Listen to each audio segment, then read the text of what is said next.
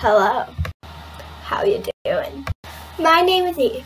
Today I'm going to be playing Auldyn River by Paul Cringle, which is the first song I ever learnt.